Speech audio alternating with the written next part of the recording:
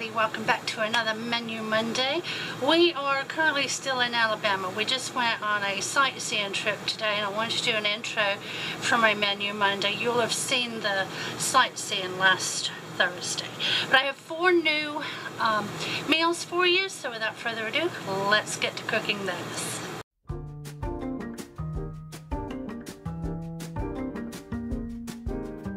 Today we're going to make a super simple dinner. Now I'm putting the ground sausage into the pan and we're going to cook that first.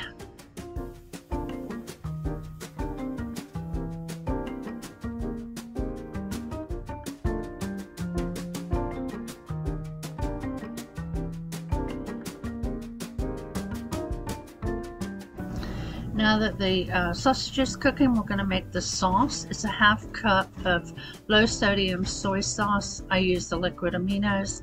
We're going to add garlic and ginger. All the ingredients again at the end of this clip and on our website, which will be linked down in the comment box below.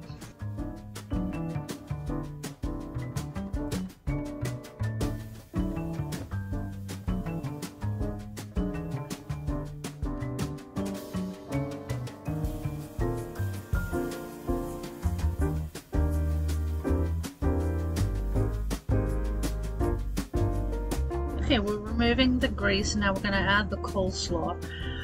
I didn't add the whole bag at once, but I did end up using the whole bag, so go ahead and put the whole thing in there.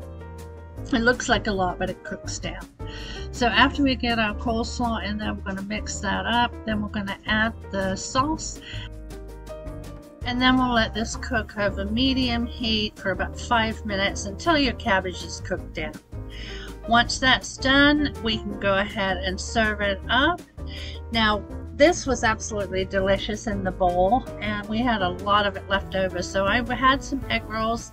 I went ahead and rolled those up. Big Daddy and I ate a couple, and I sent them, uh, sent him to work with some on the side of the roll in a bowl. I hope you give this a try. It's really, really good. Your ingredients will be here at the end.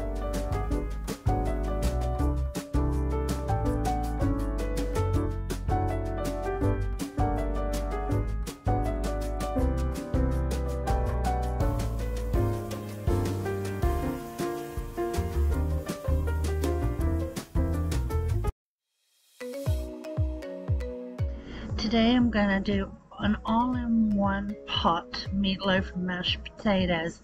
I'm going to use the Instant Pot. The first thing I'm going to do is wash and cut up my potatoes and put them in the bottom.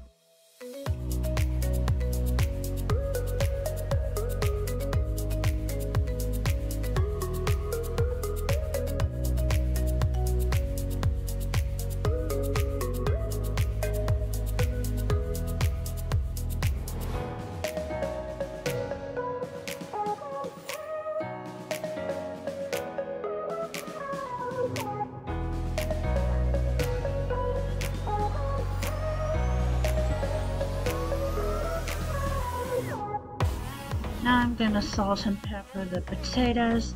I'm to add a cup of water and then set the trivet on top with the pan that I'm to put the meatloaf in. Now I will um, put a link on the website for these pans. They're great, but if you have a different kind of pan that will fit in there, you can use that too. I use these for pot and pot. I use them both at one time to cook two different things at once. They're really great.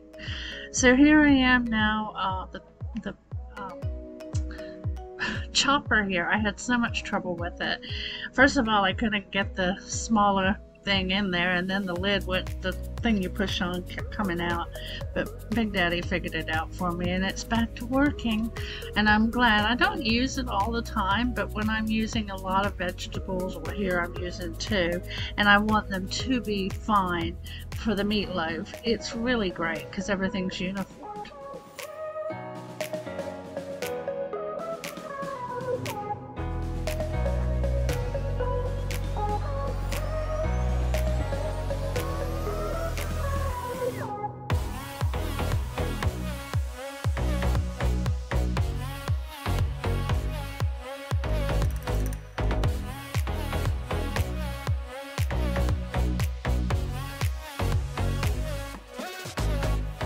Now we're going to put the rest of the ingredients in here.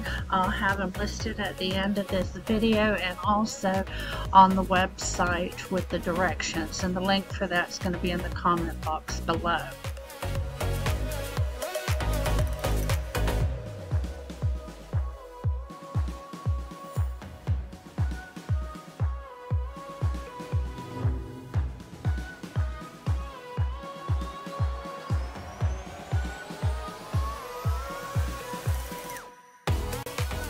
I got my gloves on. We're going to mix all this together and we're going to shape ours into a round meatloaf just so it works with the pan.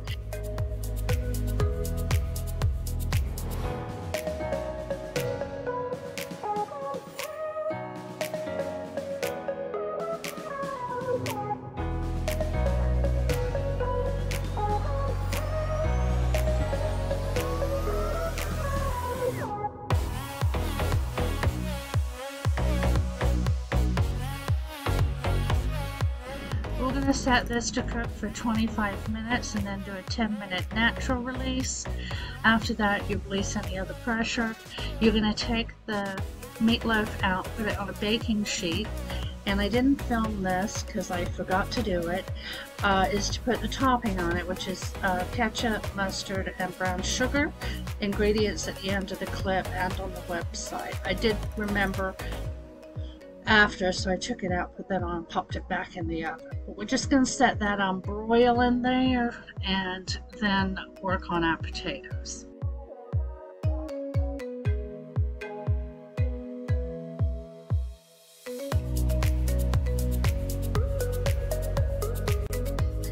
Okay, I took all the water out and then I added cream cheese and butter and a little milk and then we're going to mix this up and our dinner will be ready. Here are our plates. I just did some black-eyed peas and all the ingredients will again be at the end of this clip and on the website with link below in the comment box.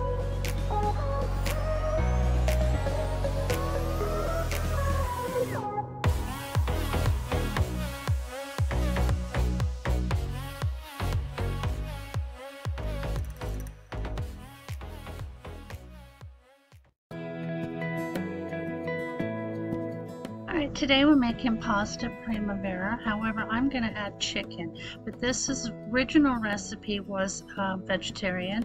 So the chicken is optional along with the, I made chicken broth, but you could use vegetable broth instead of the chicken broth to keep it vegetarian. So the first thing I'm going to do is cook my chicken. I did this ahead of time. So I just cut these breasts in half, butterflied horizontally. And then I went ahead and got them seasoned with some chicken seasoning and then put them in the oven until they were done.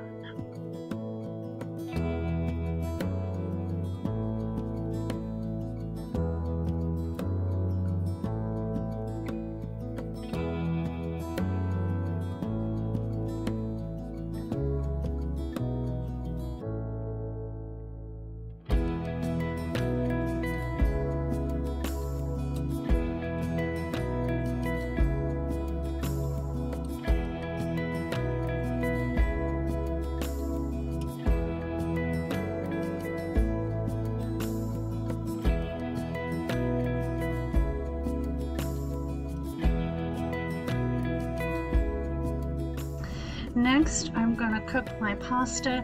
Now the directions have you doing different things in different pots, but I wanted to use the induction cooktop here because it was a really hot day and I didn't want like two or three gas burners going. So um, you can use more if you have that option.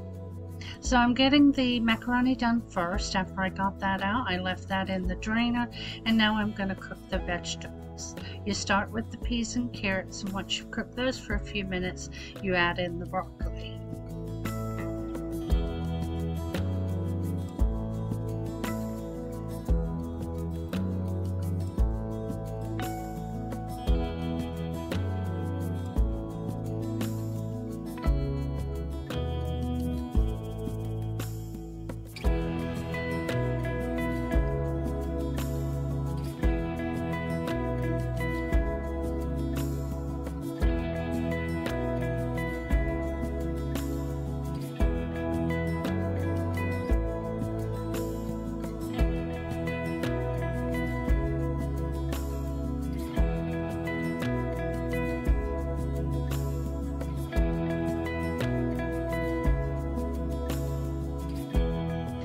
Now that the vegetables are cooked, we're going to go ahead and get them in on it in a bowl on the side. Tongue tied again.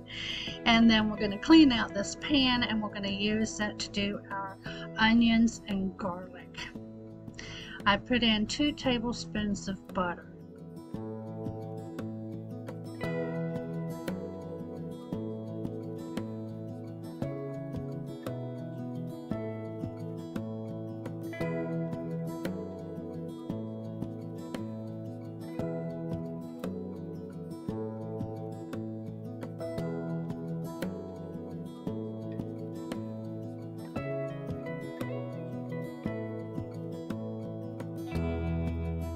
We're letting the onions and the garlic saute and then when that's ready we're going to add the chicken broth. Now I make my own so I'm just making that and we'll put that in and just leave it to cook until the chicken broth reduces. Now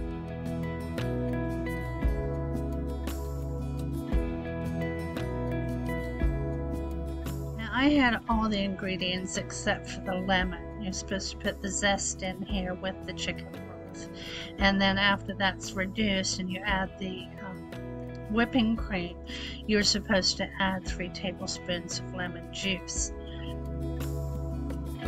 I just left that out and at the end I added lemon pepper seasoning. Alright, now that that's all in there, we're going to add back our vegetables and then I'm going to cut up the chicken and get that in there. The object is to get everything heated through. We're adding some Parmesan cheese, which is grated. Speed this up.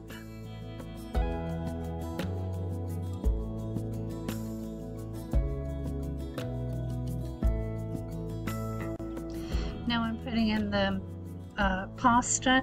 Now this called for penne pasta, but I just have regular macaroni noodles. It didn't take all of them, so I saved them to make mac and cheese with the remainder that I didn't use. Here I'm going to add the lemon pepper seasoning, and then I'm going to put the lid on and let everything heat through. This was a little bland for us. I'm not sure if it's because I didn't have the lemon, so I suggest tasting and seasoning uh, you know, to your to your liking. So it was very good. I mean, the, the the pasta itself was really good. I just felt it needed more seasoning. But here's our finished plates, and it made tons. And here are your ingredients. I hope you give it a try and let me know what seasonings you use if you do.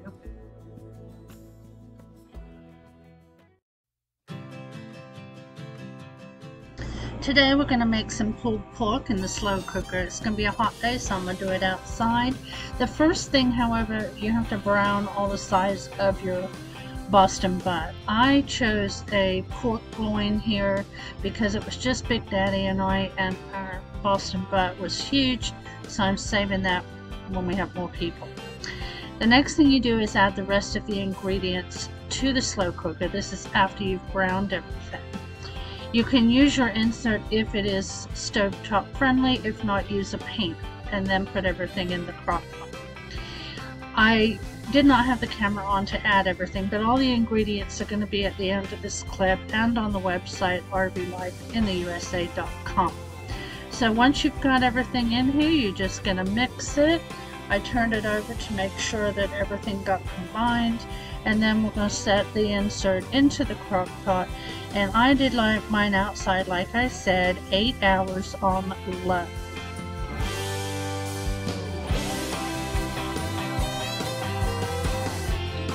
Once it was ready, I just used my meat chopper and there was absolutely no fat to remove from this pork loin, so that is one plus of using this cut of meat. After I did that, I put it into a serving dish to keep warm and then I made my coleslaw.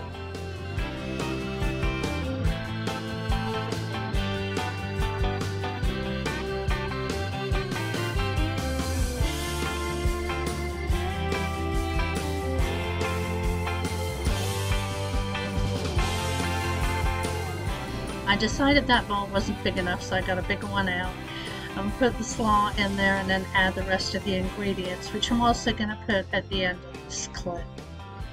Once I get everything in the bowl, I'm going to go ahead and mix it up and then put it in the refrigerator. You want to do that for at least 30 minutes to get it nice and chilled, or longer is better.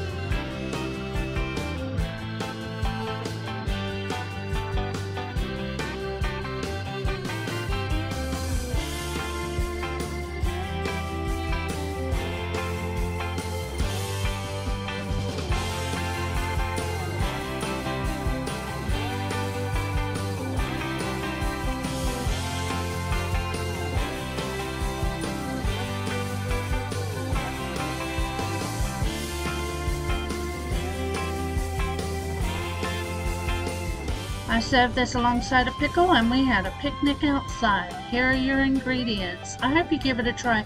This pulled pork was really, really good and I'll be definitely making this again. Well, I hope you enjoyed those meals. They were all really delicious, so give them a try if you get a chance. If you made it to the end of my video, please leave me more summer emojis. Went shopping today. Welcome summer. Loving it my dish towels. So yes, summer emojis. I'm gonna go jump in the pool. See you next week.